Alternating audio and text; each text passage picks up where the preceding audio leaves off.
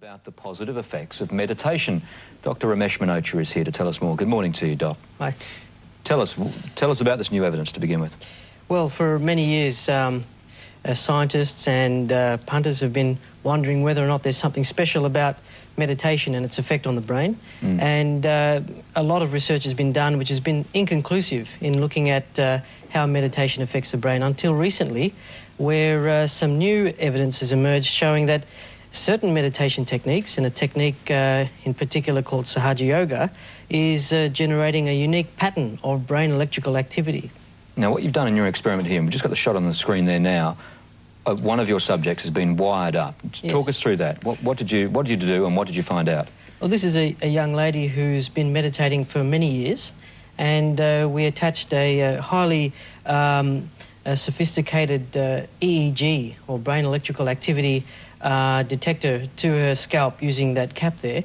And, uh, and then we asked her to meditate while we measured the changes um, that occurred in her brain activity during the meditative uh, experience. Were there changes? Yes, there were. Quite remarkable. Most, uh, in the past, what we have found is that meditation is uh, about the same in terms of generating uh, changes in the brain as, say, relaxation or dozing off or listening Mm-hmm. to music.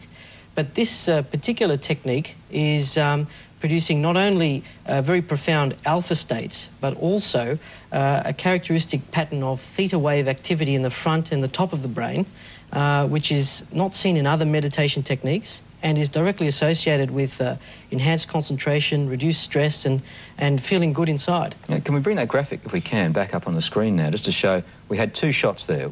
One Yes. on the left, one on the right, just to talk us through that. Well, this is Before and after, I presume. Yeah, Before and during. It is uh, uh, what you would call a, a light meditation and then a deeper state of meditation. And um, what you see there is there is a focus of activity at the front of the head. The first diagram on the left, you see the little pointy thing at the top of the circle, that's a nose, the little things on the side of the ears.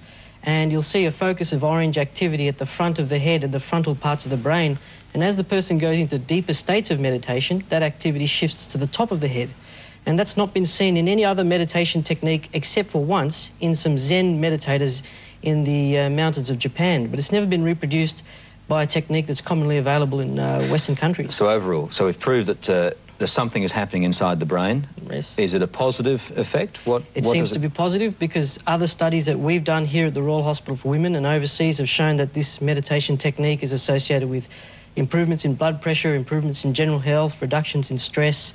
It can be useful for asthma, ADD, things like that. So now we're seeing that there are actually changes in the brain that are associated with these benefits. So meditation, I mean, it sounds so out there. It sounds like such a, a foreign, you know, thing to, to, to get involved in. But it, it's not anymore, is it? And, and you're No.